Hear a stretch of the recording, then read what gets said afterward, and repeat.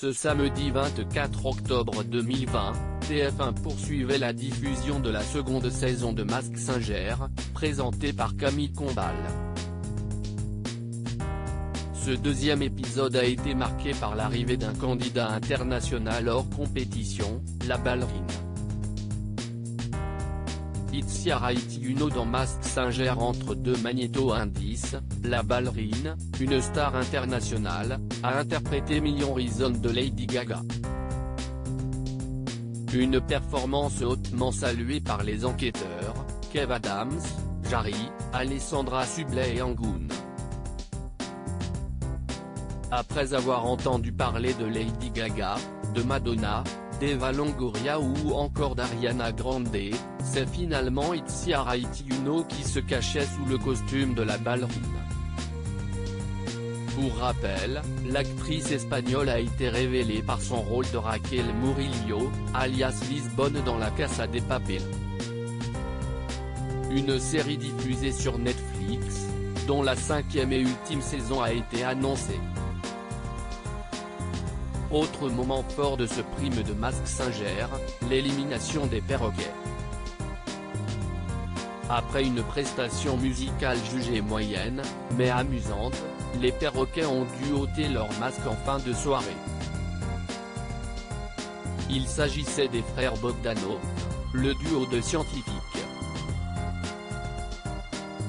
Audience en hausse pour Camille Combal côté audience, ce second numéro a amusé 5.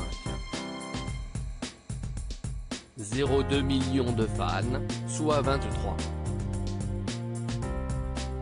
9% de part de marché, entre 21h10 et 23h30. Auprès des cibles, la force de frappe reste importante avec 63% des 4 dixièmes dents, 43% des 15-34 e dents, 40% des 15-24 e dents, 39. 5% des femmes de moins de 50 ans et 35% des 25-49e dents. Un score en légère baisse sur la part de marché moins 0. 4 points, mais en hausse en nombre de fidèles plus 250 000, par rapport au lancement de la saison, samedi 17 octobre dernier. La chaîne privée avait pu compter sur la présence de 4. 75 millions de téléspectateurs, soit une part de marché s'élevant à 24.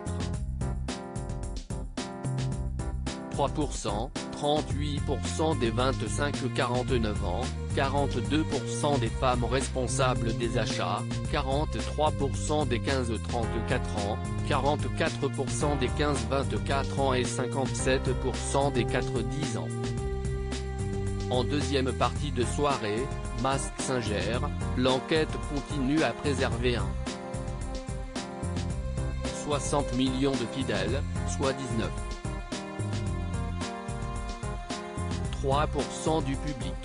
Sur une semaine, cette deuxième partie d'émission est en hausse de 0. 4 points.